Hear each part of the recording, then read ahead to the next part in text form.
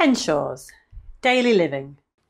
Welcome to Henshaws Knowledge Village. Today's video is about using useful vision.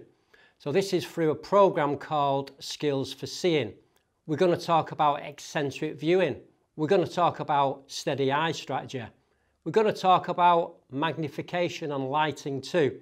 So if that's going to float your boat, then stay tuned. So the Macular Society I've introduced something called Skills for Seeing and Henshaws are fortunate to run these courses through our tech lads. Um, but this is really a non-tech solution. This is about using what useful vision you've got, primarily if you've got macular degeneration. So how does it work? Well, we're going to find out. So let's talk about eccentric viewing. When someone's got macular degeneration, their central vision is disrupted. Uh, so essentially, hopefully, in post-production, you will be seeing me through the view of somebody with macular degeneration. So you'll see the central part is missing.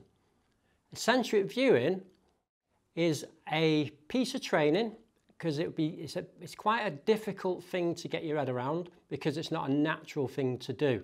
But it's essentially to look at something you actually look away from it, okay? Because what we're trying to do is find the piece of vision that you can still use in a conventional way of reading. So as I said, this is a non-tech solution. What we're trying to do is find the eyesight that you've got and utilize it. This is an unnatural way to work because essentially instead of doing what you usually would do and look centrally at the thing you want to read or the piece of detail work you're trying to achieve, like threading a needle, all daily living tasks, this is about actually looking away from the object and trying to utilize what sight you've got left within that macula. It's not for everybody, but we have had success in people reading in this conventional way. So the only way to do it is to give it a go. So that's eccentric viewing. Next up is steady eye strategy.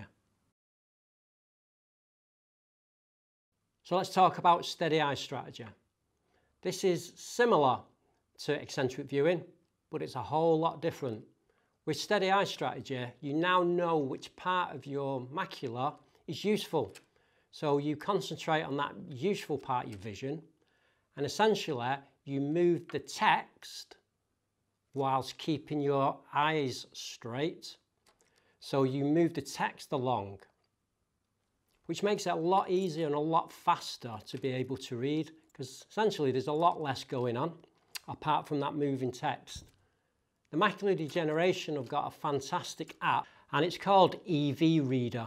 It's only available on the iPad, um, but it's an essential tool to try and really hone your skills once you understand that for some, using the macula that's left you're able to still read and do kind of detailed tasks. So that is steady eye strategy. So now we're going to move on to magnification. So magnification, very important. What a lot of people don't realise is the magnifiers that you would have got from the hospital are prescribed because we get a lot of people that saying they don't kind of work for me anymore it's probably time to go back and check your sight with relate, relating to the magnification that you've been issued. Um, the other thing that a lot of people do forget is how to actually use them. So this isn't a training video, but I just want to point out the way you use this type of cup magnifier. So essentially, a lot of people kind of do that. It's not right. The way this works is you bring it right to your eye, and you lay it on the page. It's essentially how you do it.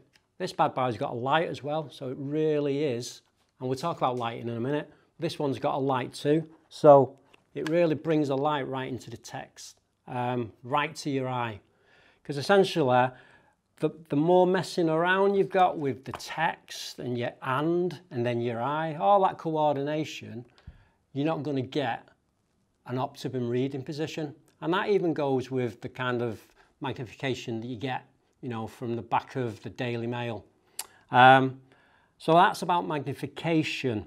Um, another little trick, um, and I've got it in my hand here, is a document holder. So I've got a clipboard here and I've got a proper like office document holder here. Fantastic devices, cheap as chips, just to keep that page steady and flat. Because again, the more messing around you've got with your hands, you know, folding, lighting, it's really good to have it on a stable platform for then for you to read um, in this conventional way, which this video is all about. So that is magnification. I touched on lighting there because this has lighting. Uh, so that's the next little bit. So let's cue lighting.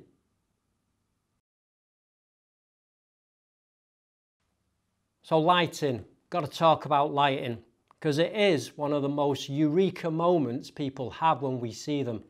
So essentially, sometimes we go to people's homes and they've just got like a, you know, 200 watt bulb in the middle of the room uh, and they're trying to read the paper. Kind of don't work that. What you need is kind of task lighting. So the, the, the unit that I've got here is a product from Spizer.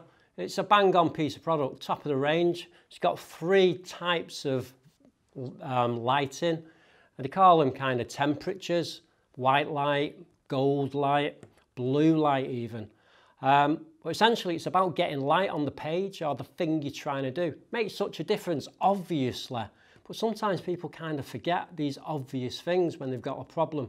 So these create real solutions to utilize the sight that you've got. Um, this one's kind of battery operated. And like I said, it goes through different colors. Um, white light, blue light, yellow light. I'm a blue light kind of guy, but sometimes I'm not. Um, so it gives you an option of moving this light around depending what the ambient light conditions are.